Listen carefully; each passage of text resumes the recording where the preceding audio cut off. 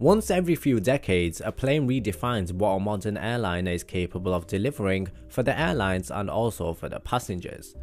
In 1957, Boeing changed the game with its first jet-powered airliner, the 707.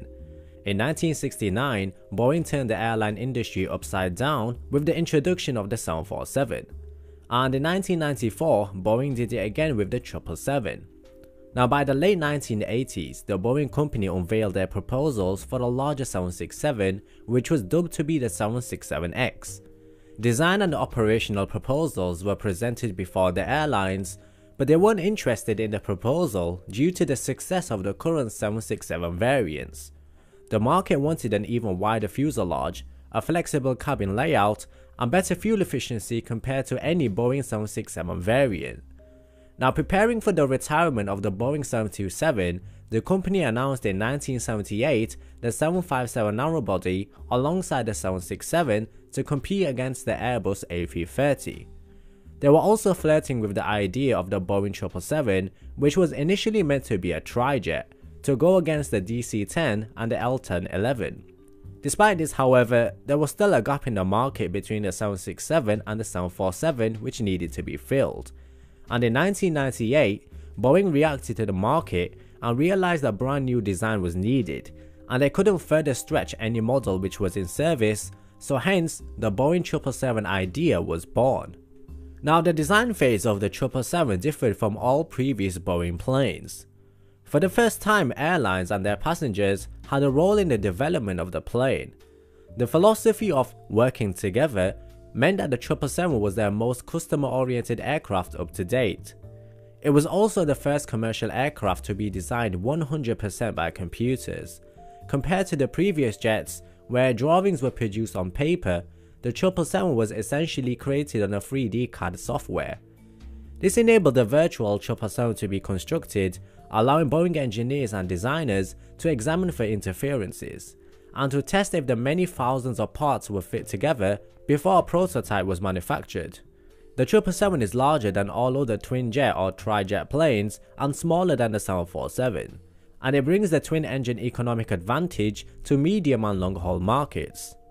Now in terms of the smaller details, it's the world's largest twin-jet airliner with a capacity ranging from 317 to 396 passengers in a typical two-class configuration, it also has a range of 13,600 kilometers up to 15,800 depending on the variant, meaning that it can technically fly halfway around the world. But what made the 777 truly unique compared to other planes that they've designed is that the 777 was the first plane to feature fly-by-wire components. Another option which was considered for the 777-200 but which was ultimately dropped was the folding wingtips. This would allow the plane to use the same gates used by the DC-10s, the L-1011s and the Airbus A300. But this option was ultimately dropped because the folding wingtips of the 777 would increase the empty weight of the aeroplane and it would add too much complexity for the airlines in terms of maintenance.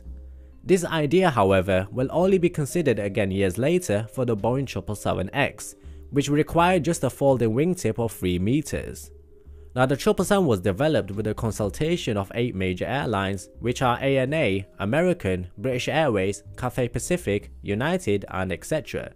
These airlines were given a 23 page questionnaire on January 1990 asking what each wanted in their design. Now the launch customer for the 777-200 was United Airlines, being delivered on June 1994 and later made their first commercial flight a year later from London Heathrow to Washington International. Now Boeing initially planned the 777 family to be a tri-jet series of aircraft so it can compete with the DC-10, the L-1011 TriStar and later on the MD-11, the A330 and the A340. However, when times changed on the new ETOPS rules, airlines began operating the 767 on long distance overseas routes that didn't really require the capacity for larger airliners. The Trijet 777 was later dropped following market studies that favoured the 757 and other 767 variants. On April 9, 1994, the first 777 was rolled out in a ceremony and the first flight took place two months later. This initiated the start of a flight test program that lasted for 11 months that was more extensive than testing for any previous Boeing model. Now the 777 has three main variants, which include the original 777-200, which entered commercial service in 1995, then the extended range 777-200ER made its arrival in 1997. A stretched version which could carry more passengers but had less range was introduced in 1998, which is the 777-300. Now these planes mainly have three engine choices, which are the General Electric, which is the most known and used engine on the 777, the Pratt & Whitney PW4000, and the Rolls-Royce Trent 800. Since then they have been collectively referred to as the 777 Classics or also known as the first generation 777s. Later on Boeing developed three new variants which would be known as the second generation 777s. An extended range version of the 300, which is now known as the 300ER, entered commercial service in 2004. And after that, following the success of the extended range variants, Boeing developed a long-range version known as the 200LR, which entered commercial service two years later after the 300ER in 2006. A freighter version was also launched known as the 777 Freighter, which was later developed and introduced in February 2009. Now a third generation variant was launched in November of 2013 and it was given the name of 777X under this new development. Boeing decided to re-engine this new set of variants with the largest engine in the world, the GE9X, which is the successor of the GE90. The plane will also feature a folding wingtip design, adding this to the 777X will also be given a new carbon fiber reinforced polymer wing. The 777X family will have two variants which will be the 8X and the 9X and quite possibly even the 10X. Also, let's not forget the BBJ 777 family, which are the corporate versions of the original 777 family. As of 2018, 1,547 Boeing 777s of all models have been delivered. Now the 777 family is very distinctive with having of course two large engines. Its long raked wings, its 6 wheels on each main landing gear, its crew rest compartment, and the blade shaped tail cone and many other features make the plane truly unique. The Boeing 777 family is a direct competitor to the Airbus A330 and the new Airbus A350. What will succeed the Boeing 777 family of the first and second generation and also the Boeing 747 will be the third generation 777X series and its main rival, the Airbus A350-1000. The first generation of the 777 is already being slowly retired one by one and the second generation will also be retired in the near future. The future of the Boeing 777 family is unclear, but we can rest assured as long as it's safe and profitable aircraft, it will be in service for many years to come. Thanks to the new wings, more efficient engines and a lighter structure, the plane is very fuel efficient, and this in turn means lower emissions per passenger seat. Now since the Middle East and Asian airlines need medium and long ranges with fuel efficiency, the 777 is the answer for this demand since it can fly non-stop from Dubai to Los Angeles, Honolulu and Oakland for example.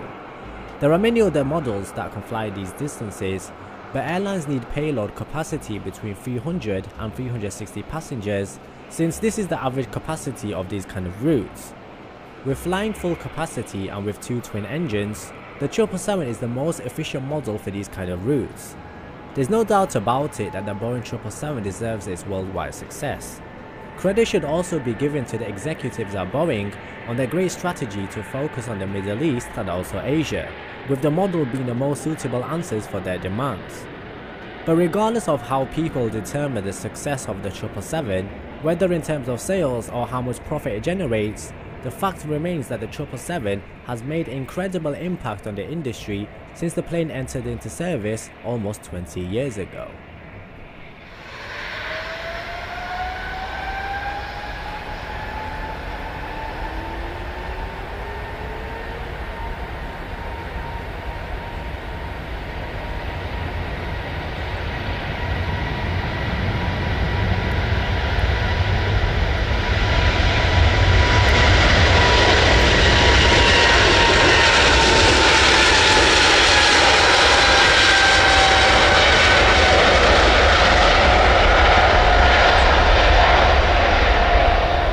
So much for watching this Boeing History Timeline video.